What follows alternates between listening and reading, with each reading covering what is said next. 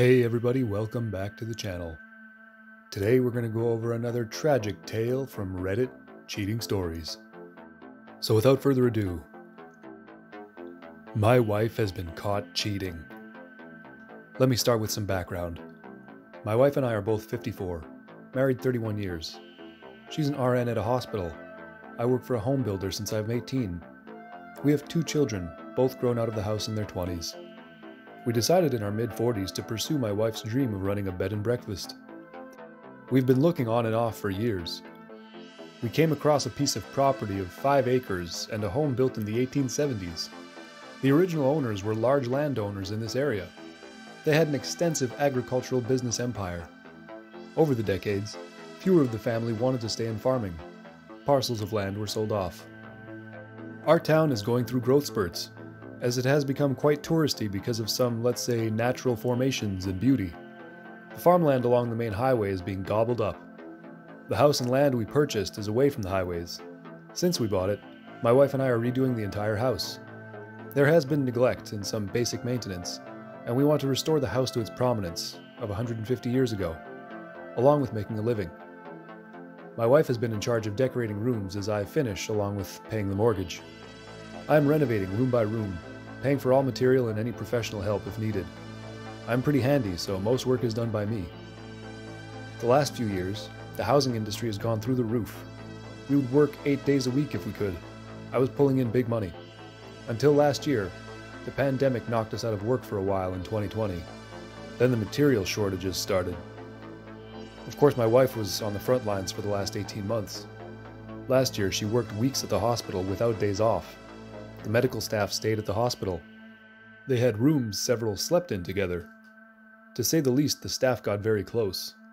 They worked four weeks on, two weeks off, starting in March last year into the fall and then again after Thanksgiving. My wife has always, after the kids were older, worked for others if they asked. She watched these young parents crying because they could not see their families. So on their off time, she would give up her time off and offer to the staff that really needed it. There were others that did this too. The whole experience changed her. Watching people put on ventilators, the deaths, etc., she was not the same person. She was distant. Our bedroom life went to zero. I attributed it to her experiences or her age. I tried talking about it, but was told she just didn't feel it anymore. We still worked closely on the house. We planned trips to an area in our state that had a large Amish population. The Amish here are known for their craftsmanship in woodworking and sewing, we bought several pieces of furniture for the bedroom along with handmade quilts. This past weekend, we were planning on taking a three day trip to this area to buy dining room furniture. I also pay in trade with some wood that I get when I take down an old barn, which I do as a side gig. Barnwood is very much in demand. My boss calls me and tells me everyone is working the whole week as he was able to get wood and shingles for a house that we've been sitting on, waiting for supplies. I told the wife we could go on Saturday and Sunday, on Friday morning, she tells me she's still going with some workers because there's a fall festival going on too. I go to a local bar that night. One of her coworkers comes up to say hello. I ask if she was going on the trip. She knew nothing about it. So I texted the wife asking if she made it okay and asked who was all there with her. She texted back that this friend, her other close friend, and a friend called Stevie. I had heard this name the last few months. Until then, I always thought she was female I asked her friend at the bar if she knew this Stevie. She said no, but there is a Steven that works with them. So the wife gets back Sunday afternoon. She has bags of tablecloths, napkin, kitchen towels, etc. She's showing me what she bought. In one bag, there was a smaller bag. She pulled it out, looked in it, and said, Oh, not this bag, it's not for us. I let it go. Later, I looked in the bag. She had it hidden in a closet. It was decorations for a man cave for a college team. I don't follow sports, so it wasn't for me. I asked to talk to her. I asked again who all went. She gave me the same three people. I just asked who Stevie was because we had not met. She told me a woman they work with. I pulled out the man cave stuff and told her I talked to her friend, who was supposed to be away last week, but her plans blew up. Then I asked who Stevie was again. She started crying and told me who he was. And yes, they were by themselves. They had bedroom fun. They have been since the last year during their hospital lockdown. So now she's living in one of the finished bedrooms.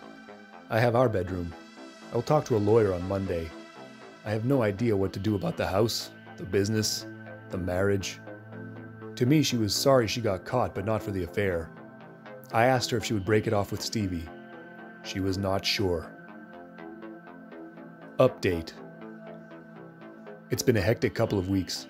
Along with my work and side gigs picking up, the wife and I were battling. I saw a lawyer. After I explained everything, he suggested we try to work it out before he gets involved. The house is still not a business and cannot be sold as such. We would have to sell it as a house, unfinished, which would lower the price. We've sunk well over $100,000 into the house, plus the mortgage. The lawyer will have to consult with a real estate attorney, and maybe one dealing with businesses, so the fees are going to be high. So I try to approach the wife to see if we could talk. I don't know if she's embarrassed by being caught, but she has dug in her heels. She told me to leave the house. I told her I have no plans to do that. Then she countered with my giving up the master suite and me moving into the one of the bedrooms. I again tell her I don't plan on it either. She then says she's off the next couple of days and will move all my stuff out and put it in the foyer for me to decide where I'm going to stay. So I end the conversation I went out where my supplies are stored and grabbed a new door lock with a push button keypad. I was going to install it on the bedroom doors once we had guests. We can change the combination after each guest. I installed it on the master suite door. The next day I went to work.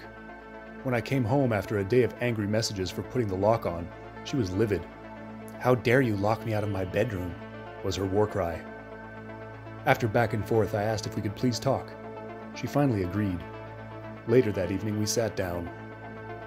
I told her I was very hurt to find out about the affair, and that I wish she would have told me. She was not happy. She did not say anything. So I continued with that as far as I'm concerned, the marriage is over. She just nodded her head. I then told her I have been to an attorney. This caught her by surprise by her look. I explained what the attorney had said, that it would be best if we could come to some agreement on what to do. Our largest asset is the house, and to sell it we would take a huge loss. She just smiled and said, I can prove that I've paid the mortgage, so the house is mine. I shook my head no. My attorney explained the house is a marital asset, both names on the mortgage. I then pulled out a couple of binders. I have every receipt that I have spent, filed by room, on what was spent. I started this just out of curiosity, and kept going as we finished rooms. I can prove I spent thousands of my money in refurbishing the home. She was caught off guard by the receipts. She has not been to an attorney. I proposed that we live peacefully together, finish the house, we can then set up the B&B. She could then buy me out of the business at that time. She dug her heels in again. No, I need to leave. If not, she has plans to move Stephen in. This hurt like a witch. I got up and got a glass of water to collect my thoughts. When I came back to the table, I told her if I see him in this house or on the property, I would start disassembling everything that has been done. Every nail and every screw I put in, I would take out. Every light and plumbing fixture would be taken down. I said I would not destroy them because I own them. I would replace them with any old piece of salvage material I could find. I said, think about it. Consult with whoever is giving you dime store advice. Let me know. Yesterday, she came to me. We had not talked in several days. She asked if we could talk again. She had talked with our kids. I had called each and told them what's going on. Our daughter suggested to her that we stay in the house to completion. Start the business, as I suggested. Then maybe I could move out, but still own 50%. Mom could run the business, bringing in an employee or two to help run the place, do yard work, give Mom a day off. I told her I would think about it, but my stance on Stephen will not change. So I have another appointment with my attorney. The big issue is we will probably not be in business until 2023. The outside needs much work, along with landscaping. Plus, we need to come up with a room for one of us to live in. The room I am in is part of the rooms to rent. TLDR, the marriage is over. Now it's how to come to separation without bankrupting us. Update 2 Sorry I haven't updated. I'm recovering from a stroke almost four months ago, and am just now getting back whole. My wife and I were discussing how we would split our assets. Our lawyer said it would be best if we came to some consensus. As we were talking, the stroke hit. I was sitting one second, then hit the floor. My wife is a registered nurse. Thank God she saw something wrong, and when she asked if I was alright, I hit the floor. She called 911 and told them I was having a stroke. I went to the hospital for a week, then to rehab. My wife had taken a leave to care for me when I got home.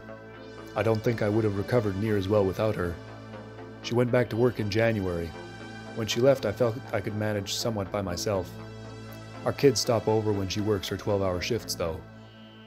Don't know if she is still seeing Stevie, because she spent two months by my side. However, she has taken a couple three day holidays away, so I think that may still be going on. Right now, divorce talk has been pushed to the side. Thank you for those asking for updates and the many DMs asking where I was. I am on the mend. I have some issues walking, so going back to work is out of the question. I may have to come up with something else. Update 3 I hope it's the last one.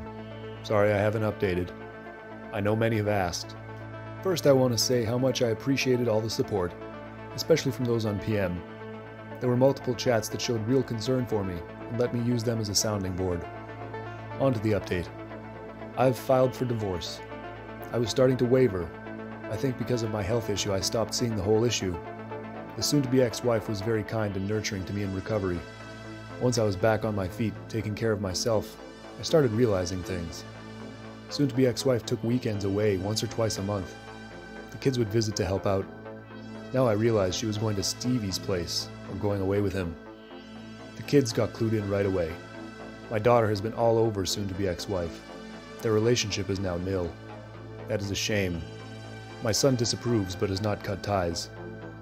We discuss divorce, dividing assets. It'll be amicable. Neither of us can buy the other out.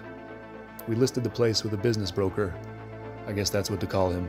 He found a company, I think VRBO, Airbnb, to give us a great offer. So we will divorce and move when it's finalized in a month or two. The sale will go through then. My health is not all the way back, and probably never will be. I have a great boss who is working with me as I grow into this new role as a project manager for him.